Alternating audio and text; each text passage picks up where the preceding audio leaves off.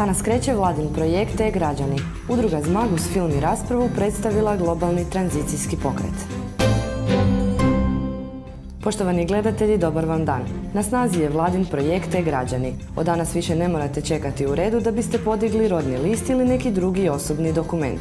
Njih je sada dovoljno isprintati sa internet stranice, a svako državno tijelo takav će dokument prihvatiti kao vjerodostojan.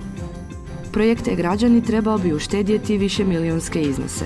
Samo na poštanske usluge za slanje različitih rješenja i zahtjeva država godišnje potroši 180 milijuna kuna. Što se građana tiče, najbolji primjer je prijava djeteta nakon rođenja. U Hrvatskoj se godišnje rodi 43 tisuće djece, pa trošak prijave iznosi preko 4 milijuna kuna za razne pristojbe. Svi ovi zahtjevi i procedure mogu se obavljati elektronskim putem, dakle besplatno. U prvoj fazi je građani nudi tri usluge. Prva je primanje poruka o isticanju putovnice ili obavijest porezne uprave, a drugi tip su provjere određenog stanja poput količine uplaćenog novca u drugi mirovinski stup. Treći tip su online dokumenti, a za sada će nam biti dostupni izvadak rodnog i vjenčanog lista. Iz Ministarstva uprave poručuju da ovaj projekt ne znači ukidanje šaltera, jer u državi gdje polovica kućanstava još uvijek nema priključak za internet, to vjerovatno nikad neće biti moguće. Udruga Zelena mreža aktivističkih grupa u suradnji s knjižnicom Ante Kovačić organizirala je prikazivanje filma u tranziciji 2.0 i prigodnu raspravu s građanima. Film prikazuje prijelaz u društvo s manje nafte i novca, ali s boljom kvalitetom života. Kroz 16 priča sa 7 kontinenata ljudi rade korisne stvari za svoju zajednicu poput iskanja vlastitog novca, proizvodnje domaće hrane ili lokaliziranja ekonomije – Tranzicijski pokret zalaže se za stvaranje održivih zajednica koje će uz lokalne uspjehe ojačati društvo u kojem se uz manje novca može živjeti bolje. Tranzicijski pokret e, pokazuje smjerove kako se zajednice mogu lokalizirati i zapravo preuzeti stvari u svoje ruke, e, organizirati e, možda uzgoj vlastite hrane ili dijelom u gradovima ili povezivanje sa malim proizvođačima koji žive u okolici. Zajednice ulažu u svoju energiju, znači energetske zadruge sa obnovljivim izvorima, grade, kažem, kuće od prirodnih materijala. Isto tako novi način komunikacije i suradnje je jako bitan. Isto ulaganje u lokalnu dobru ekonomiju. Znači mi zovemo dobra ekonomija, ekonomija koja osim toga što donosi neki profit je dobra i za zajednicu i za okoliš. Udruga Zmag posebno se zalaže za ekološki uzgoj hrane gdje god je to moguće, u vrtovima, na balkonima ili na gradskim zemljištima. O ovoj temi najviše su razgovarali s građanima.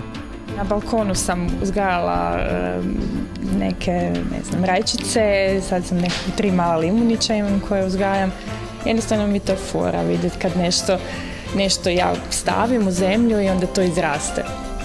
Jeste probali te svoje um, uspješno uzgojene proizvode, evo i kako je? Kakav je okus? Jesam. E, baš je paradajz.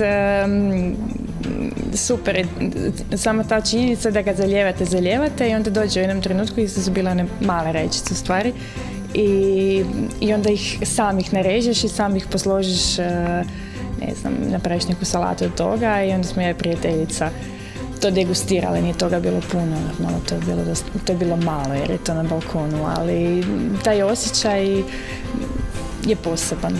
Mnogi ljudi iz Zaprešića i okolice bave se prirodnim uzgojem hrane, a jedna od njih je i gospođa Josipa iz Dubravice. U knjižnicu je došla podijeliti svoje znanje s drugima i naučiti nešto novo. Pa ja vam živim za to bilje. Ja sam kao mala sa mojom bakom išla, hodala sam, bežala sam za njom kao cuzak. Ona je brala samo niklobinje i ja sam se, to je meni ostalo u krvi i onda kad sam ja dobila bolest, ja sam to trošila, to je meni pomoglo, ja vam se bavim već jednu devet godina sa tim.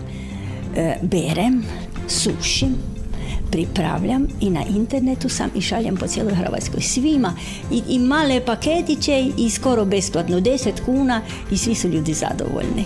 Inače, tranzicijski pokret počeo je u Irskoj prije deseta godina gdje su ljudi kreirali projekt održivog razvoja jednog malog grada. Nakon toga pokret se širi diljem Velike Britanije i na kraju diljem svijeta.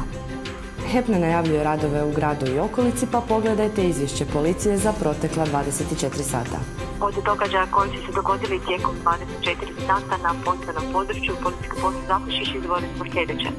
Dana 9. lipnja dogodile su se dvije prometne nesreće sa materijalnom štetom i to u Zaprešiću na križanju ulica Ivana Mažuranića i Matija Skorijenija i u ulici Adama Baltazara Krčovića kod broja 19. Te jedna prometna nesreća sa ozlijeđenom osobom na autostupnog automobila na pješaka koja se dogodila u Zaprešiću na križanju ulice Pavla Lončara i Dragi Švajcara. Provedeno je i jedno kriminalističko istraživanje nad muškom maloljetnom osobom poradi osnovane sumnje da je počinio kaznena djela prijetnje i neovlaštena proizvodnja i promet drogama. Protiv istoga je nadležnom državnom odvjetništvu podneseno posebno izvješće. U petak slijedi još jedna akcija za pomoć poplavljenim područjima. Ovaj put kum daruje namještaj i bijelu tehniku jednoj stradaloj obitelji, a kum može biti bilo tko, pojedinac, društvo ili cijela obitelj. Prva primopredaja bit će u 15 sati u Remar centru. Pogledajte i ostale najave. 11. lipnja u Velikoj dvorani Pučkog otvorenog učilišta s početkom u 14 sati održat će se završna svečanost dječjeg vrtića Maslačak. Brazilska atmosfera od četvrtka će zarobiti glavni gradski trg. Program počinje od 18 sati i trajaće sve do kraja utakmice Hrvatska-Brazil, a u 19 sati nastupit će Marijan Bani diktatori. Poštovani gledatelji, stigli smo do kraja današnjih vijesti. Gledajte nas i sutra, a do tada lijep pozdrav.